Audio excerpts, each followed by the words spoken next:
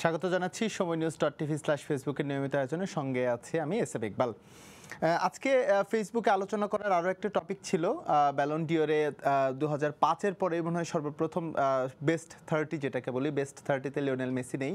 এটা নিয়ে অনেক অনেক আলোচনা, অনেক সমালোচনা, অনেক কিছুই হচ্ছে। তবে সব আলোটুকু সম্ভবত কেড়ে নিয়েছেন সাকিব আল হাসান এবং হচ্ছে বাংলাদেশের ক্রিকেট ইয়েস গেল কয়েকদিন ধরেই আমাদের গণমাধ্যম, সামাজিক মাধ্যম বা হচ্ছে ভক্তদের মধ্যে।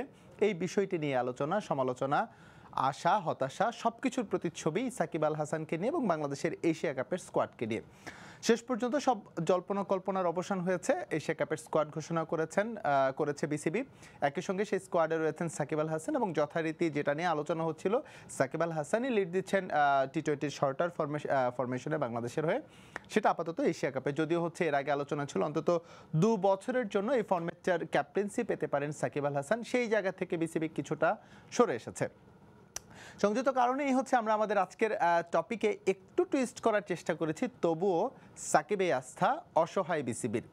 এখানে দুটো জিনিস আপনারা নিশ্চয়ই আমাদের হেড হেডলাইন বা হচ্ছে টাইটেল দেখে বুঝতে পেরেছেন। দুটো জিনিসে হচ্ছে আমরা ইঙ্গিত করার চেষ্টা করেছি। তবুও সাকিব মানে নিশ্চয়ই সাকিবের পেছনে আরও কিছু ঘটনা রয়েছে বলেই তবুও সাকিব এবং অসহায় বিসিবি দুটো দুটো জায়গাকে হচ্ছে ভাগ করে হচ্ছে আমরা আজকে আমাদের আলোচনাটা করব।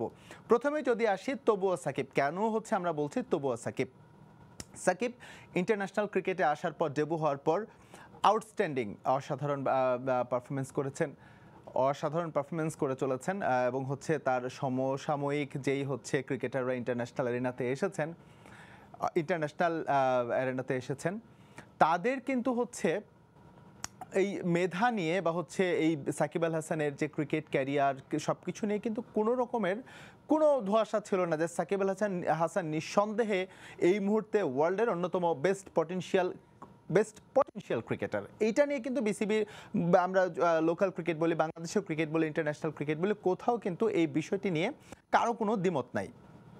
কিন্তু কিছু কিছু বিষয় এলেই ক্রিকেটের বাইরে তার যেই কমার্শিয়াল যেই স্পেস বা কমার্শিয়াল যে লাইফটার কথা বলি সাকিব আল হাসানের, সেই জায়গাটায় এলেই কেন যেন হচ্ছে দুই জায়গাটা হচ্ছে একটু গুলিয়ে যায়। এর আগেও বিভিন্ন সময় বিভিন্নভাবে হচ্ছে সাকিব আল হাসানকে নিয়ে হচ্ছে বিতর্ক সৃষ্টি করা হয়েছে বা সাকিব আল হাসান নিজেই বিতর্কের সৃষ্টি করেছেন বা তিনি নিজেই বিতর্কের মধ্যে পড়েছেন।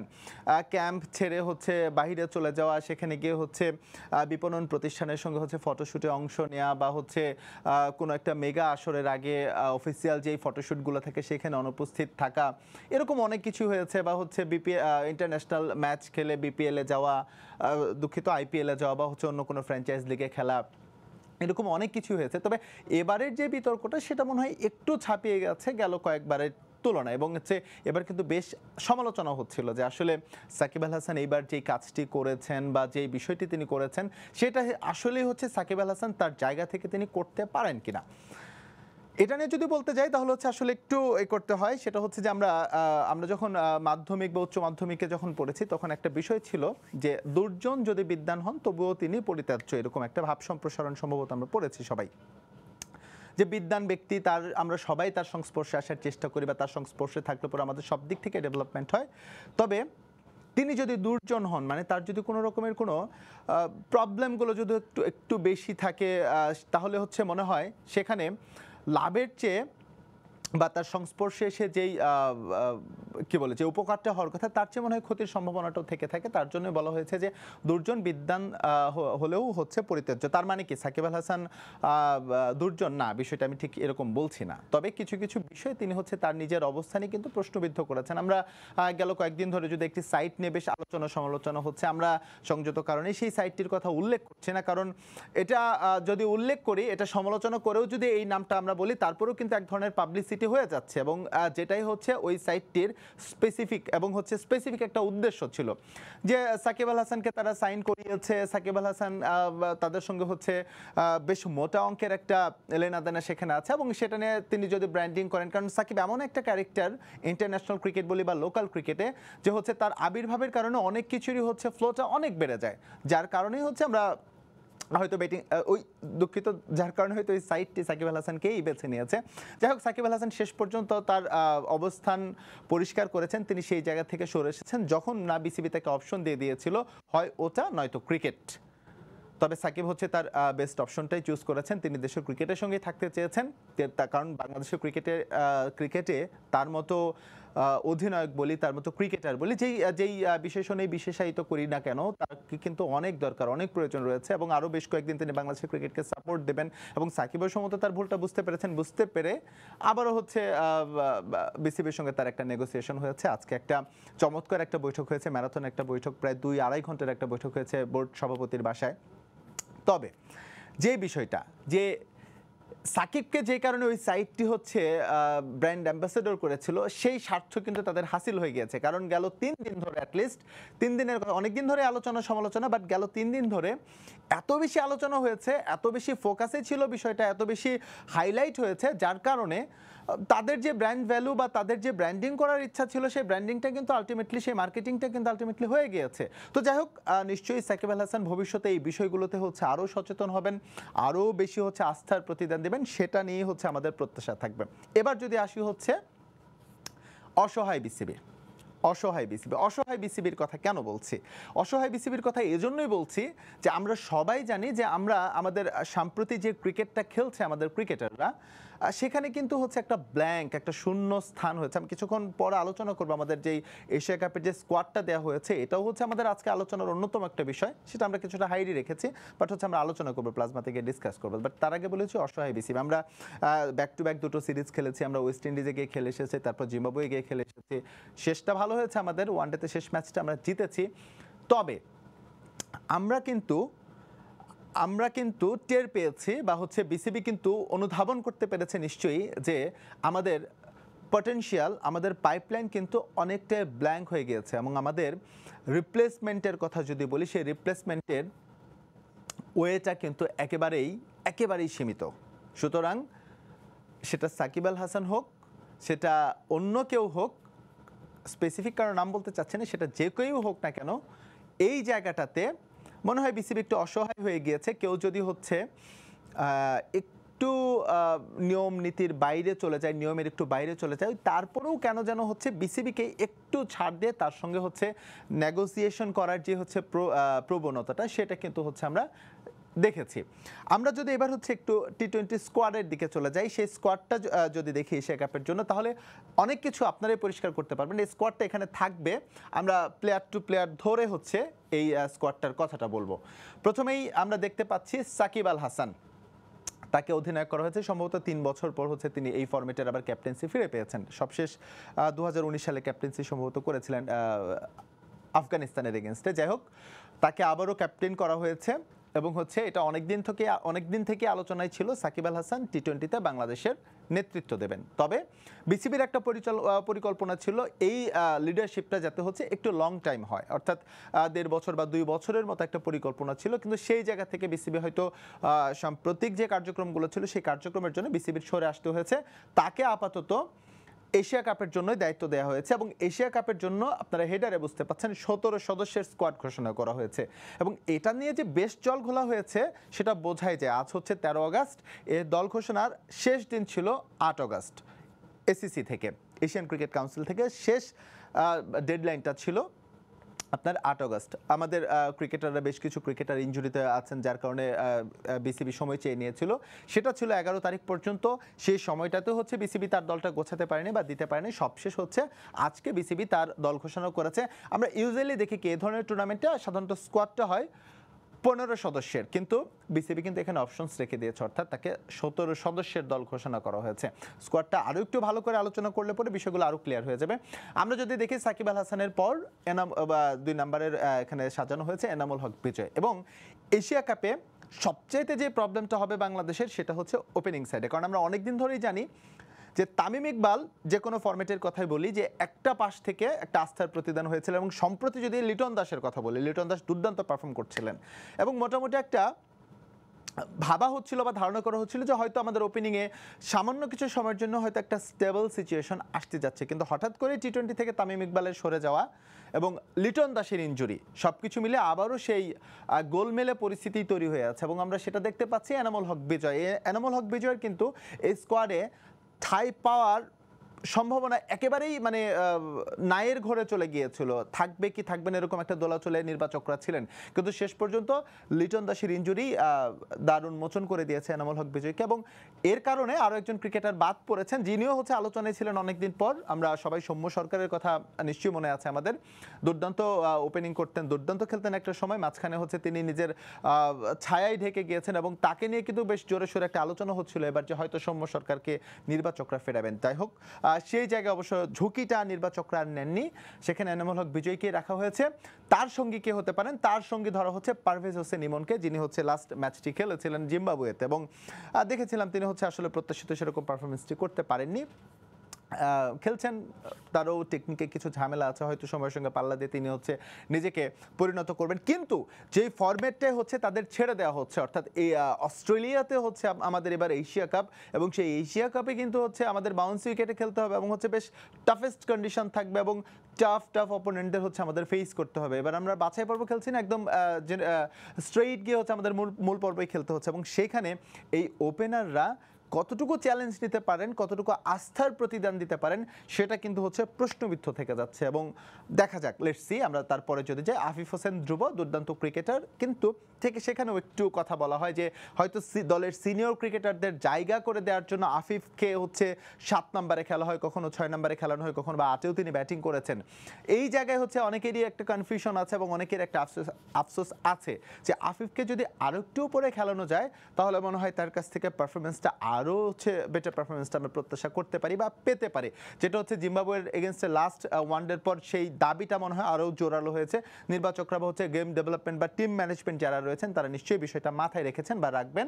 আসন্ন টি টোয়েন্টি এশিয়া কাপে মুশফিকুর রহিম মোস্ট ডিপেন্ডেবল বলা হচ্ছে। যদিও এই মুশফিকুর রহিমকে নিয়ে গেল টি টোয়েন্টি ওয়ার্ল্ড কাপ থেকে ব্যাপক সমালোচনা। তার স্ট্রাইক রেট বলি তার মাঠের অ্যাগ্রেশন বা পার্টিসিপেশনস নিয়ে অনেক প্রশ্ন ছিল যে আসলেই এই শর্টার ফরম্যাটে এই স্ট্রাইক নিয়ে মুশফিকুর রহিম হচ্ছে আসলে কতটা ক্যাপেবল বাংলাদেশের জন্য। তবে ওই যে একটা কথা বলেছি যে অসহায় বিসিবি এইসব জায়গায় কিছু কিছু জায়গায় বিসিবি আসলে অসহায় বিসিবির এইসব জায়গায় তার হচ্ছে বেস্ট পটেনশিয়ালটাই খেলানোর চেষ্টা করে এবং আমাদের বেস্ট পটেনশিয়ালের কোয়ালিটি জয় যদি এরকম হয়, তাহলে হচ্ছে আসলে কিছুই করার থাকে না। এটা নিয়ে হচ্ছে আমাদের লড়ে যেতে হবে। সীমিত রিসোর্স নিয়ে লড়ে যাওয়ার যে বিষয়টা, মাহমুদুল্লাহ রিয়াদ। মাহমুদুল্লাহ রিয়াদ, শেষ পর্যন্ত টিকে গেছেন। তার কিন্তু অনেকটা এপিটাফ লেখা হয়ে গিয়েছিল যখন তাকে হচ্ছে জিম্বাবুয়ে সিরিজের শুরুতে হচ্ছে তাকে বাদ দেওয়া হলো যে তিনি টি টোয়েন্টিতে আর তিনি নেই, তার ক্যাপ্টেন্সি কেড়ে নেওয়া হলো এবং একই সঙ্গে তাকে টি টোয়েন্টি থেকে বিশ্রাম দেওয়া হলো। তবে এই বিসিবি কিন্তু মোটামুটি হচ্ছে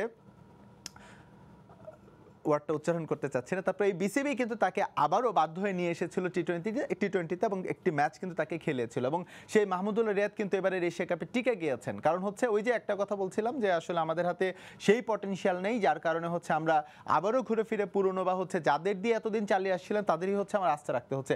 এবার যদি আসি মোসাদ্দেক হোসেন সৈকত বেশ ট্যালেন্টেড ব্যাটসম্যান ট্যালেন্টেড ক্রিকেটার তিনি তার আস্থার প্রতিদান দিতে পারলে নিশ্চয়ই হচ্ছে ভালো কিছু হবে।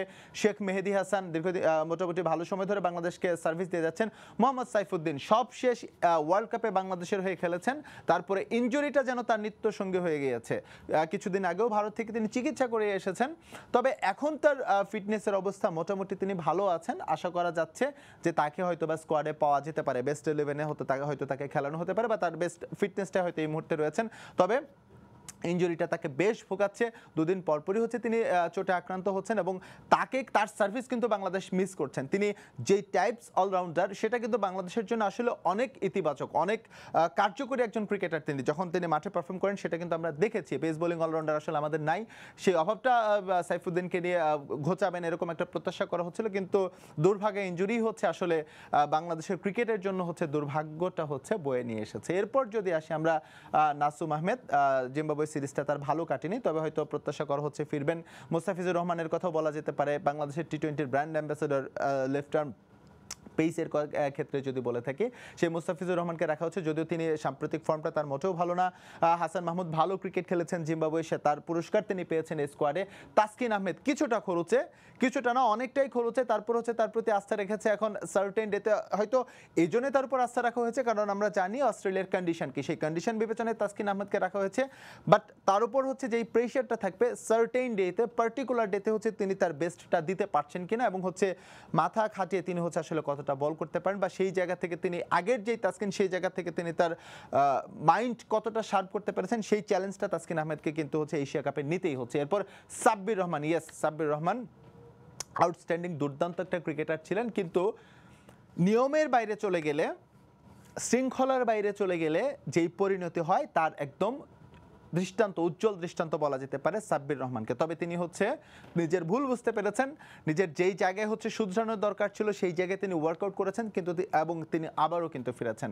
দু হাজার উনিশ সালে সবশেষ টি টোয়েন্টি খেলেছিলেন বাংলাদেশের হয়ে, এই আফগানিস্তানের বিপক্ষেই তার প্রতি আস্থা রেখেছে এবং এই যে স্কোয়াডটা আমরা দেখতে পাচ্ছি, সম্ভবত এই স্কোয়াডের সবচেয়ে বেস্ট স্ট্রাইক রেটটাই কিন্তু হচ্ছে সাব্বির রহমানের রয়েছে এবং টি টোয়েন্টিতে তিনি চুয়াল্লিশটি ম্যাচ খেলেছেন। তার রান হচ্ছে আমি যদি ভুল না করে থাকি, নশো ছেচল্লিশ রান স্ট্রাইক রেটটা হচ্ছে একশো একুশ এবং তার স্ট্রাইক রেটটাই সবচেয়ে বেশি এই মুহূর্তে যারা খেলে থাকেন। মোটামুটি ত্রিশ চল্লিশটা টি টোয়েন্টি খেলেছেন। এরকম বিবেচনা করলে তার স্ট্রাইক রেটটাই হচ্ছে সবচেয়ে বেশি এবং এই যেই আমরা যে বলি ইদানিং যে হচ্ছে বিভিন্ন সংবাদ সম্মেলনে নির্বাচকরা বলে অনেকে বলেছে, আমরা ফিয়ারলেস ক্রিকেট খেলতে চাই। এই ফিয়ারলেস ক্রিকেটটা কি কীভাবে খেলতে হয় সেটা কিন্তু সাব্বির রহমান কিন্তু দেখিয়ে দিয়েছিলেন যখন তিনি ফর্মে ছিলেন শুরুর দিকটাতে। বাট মাঝখানে সময়টা খারাপ গিয়েছে, তিনি আবারও ব্যাক করেছেন। আমাদের হচ্ছে আসলে প্রত্যাশা থাকবে অজি কন্ডিশনে নিশ্চয়ই হচ্ছে ঘুরে দাঁড়াবেন সাব্বির রহমান। মেহেদি হাসান মিরাজ, তিনিও ফিরেছেন টি টোয়েন্টিতে নুরুল হাসান সোহান হ্যাঁ নুরুল হাসান সোহানকে নিয়ে একটুখানি বলতে হয়। দুর্দান্ত ক্রিকেটার, তাকে হচ্ছে ক্যাপ্টেন করে পাঠানো হয়েছিল ইয়েতে জিম্বাবুয়েতে বাট হচ্ছে আনফর্চুনেটলি আঙ্গুলের চোটের কারণে তিনি হচ্ছে সেই সিরিজের মাঝপথেই তাকে ছিটকে যেতে হয়েছে। তারপরও তাকে এখানে রাখা হয়েছে।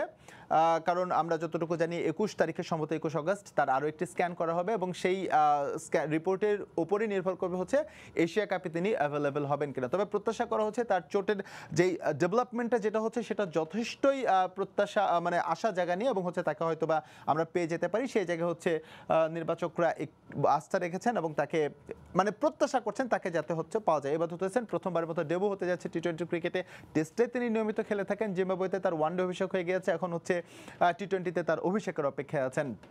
এবার হচ্ছেন এই হচ্ছে আমাদের মোটামুটি এশিয়া কাপের সতেরো সদস্যের স্কোয়াড এবং এদের উপরেই হচ্ছে আমাদের ভরসা রাখতে হবে।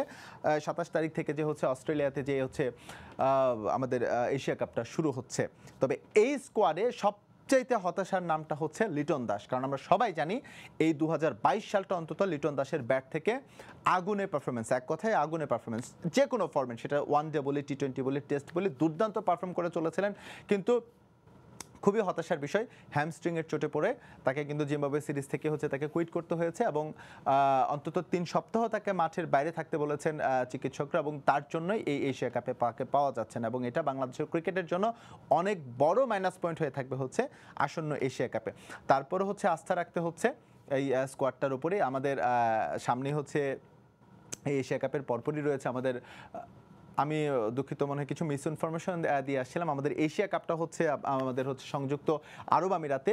ওয়ার্ল্ড কাপটা হচ্ছে আমাদের এশিয়া কাপে। মূলত হচ্ছে ওয়ার্ল্ড কাপকে ঘিরে হচ্ছে সমস্ত পরিকল্পনা সব কিছু সেট করা হচ্ছে। যার কারণ হচ্ছে এশিয়া কাপটা বলা যেতে পারে, দুবাই যেটা হচ্ছে, সেটা হচ্ছে ট্রায়াল ভার্সন এবং সেখান থেকে খেলেই, সেখান থেকে বেস্ট স্কোয়াডটা পিক করেই বা হচ্ছে যারা ইনফর্ম থাকবেন, যারা ফর্মে থাকবেন, তাদেরকে নিয়ে হচ্ছে আমরা অস্ট্রেলিয়াতে যাব। সুতরাং এশিয়া কাপে হচ্ছে আসলে দুবাই আমরা লিটন দাসকে পাচ্ছি না এবং আরও কিছু ক্রিকেটারকে পাচ্ছি না। তবে আমাদের প্রত্যাশা থাকবে যেই ওয়ার্ল্ড কাপটা শুরু হতে যাচ্ছে অক্টোবরে অস্ট্রেলিয়াতে সেইখানে হয়তো আমাদের বেস্ট স্কোয়াড যারা রয়েছে, তাদেরকেই হয়তো বা আমরা পাবো। সেই ক্ষেত্রে হচ্ছে একটু পেশেন্ট আমাদের থাকতে হচ্ছে। আমরা আবারও যদি হচ্ছে আমাদের আলোচনার শুরুর দিকটায় যদি একটু ফিরে আসতে চাই অনেক নাটকীয়তা, অনেক কিছুর পরে হচ্ছে আজকে আমাদের স্কোয়াডটা হয়েছে। এবং অনেকেই অনেক রকম, আপনারা যদি হচ্ছে সামাজিক মাধ্যমে ফেসবুকে স্ক্রল করলেই বুঝতে পারবেন। এটা নিয়ে হচ্ছে অনেক আলোচনা, সমালোচনা হচ্ছে। অনেকেই বলছেন যে আসলে আসলেই ক্রিকেটটা কি হতে যাচ্ছে এবং বিসিবি হচ্ছে আসলে কোন জায়গায় থাকবে বা কোন স্ট্যান্ড নেবে? তবে সেই সব জায়গা থেকে বিসিবি নিজের অবস্থান পরিষ্কার করেছে।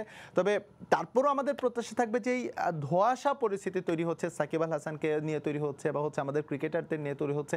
এই প্রত্যাশা হচ্ছে আমাদের কারোরই কাম্য না। সাকিব আল হাসান গতকালই হচ্ছে যুক্তরাষ্ট্র থেকে ফিরেছেন এবং তিনি ফিরেই বিসিবি সভাপতির সঙ্গে দেখা করেছেন। এর আগে আনুষ্ঠানিকভাবে তিনি মেল করেছেন বিসিবিতে এবং মেল করে নিজের অবস্থান স্পষ্ট করেছেন।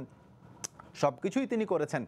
কিন্তু ওই একটা দেশ, একটা আমাদের একটা প্রবাদ আছে যে গাধা জল সবসময় ঘোলা করে খেতে পছন্দ করে। আমাদেরও কথা হচ্ছে, এটা একটা আক্ষেপের কথা হয়ে থাকছে যে সাকিবকে অবশ্যই আমরা চাই সাকিবের পারফরমেন্স সাকিব যতদিন হচ্ছে আমাদের ক্রিকেটের সঙ্গে থাকবেন, ততদিনই হচ্ছে আমাদের ক্রিকেটের জন্য এটা নিঃসন্দেহে অনেক অনেক বড় পাওয়া।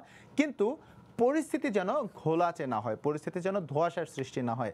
এই সাকিব আল হাসানের জন্য, সাকিব আল হাসানকে ঘিরে হচ্ছে সামাজিক মাধ্যমে অনেকেই তির্যক কথা বলেন। আমরা একটা লাইভে দেখেছিলাম ব্যারিস্টার সুমন তাকে টাকার লোভটা ছাড়ার জন্য তিন লাখ টাকা তাকে ডোনেট করেছেন। এইসব নিশ্চয়ই হচ্ছে আসলে হয়তো সাকিব আল হাসান এসব তোয়াক্কা করেন না বা এইসব তিনি শোনেন না। তবে আসলে দিন শেষে কিছু কিছু জিনিস আছে যারা ব্র্যান্ড অ্যাম্বাসেডর যারা আইকনিক ফিগার তাদের কিছু কিছু জায়গায় অনেক সংযম বা অনেক সংযত হওয়ার হতে হয় বা সেই পরিচয়টা দিতে হয়। আমাদেরও প্রত্যাশা থাকবে যে যেই বিতর্কটা উঠেছে উঠেছে, সেই বিতর্ক নিশ্চয়ই আর বেশি দূর গড়াবে না বা নিয়ার ফিউচার বা ভবিষ্যতে হচ্ছে এই ধরনের কোনো কিছু আর হবে না। আমাদের এরকমই প্রত্যাশা থাকবে এবং একই সঙ্গে প্রত্যাশা থাকবে এই স্কোয়াডটা নিয়েই এশিয়া কাপে বাংলাদেশ বাজিমাত করবে। ধন্যবাদ আমাদের সঙ্গে যুক্ত থাকার জন্য।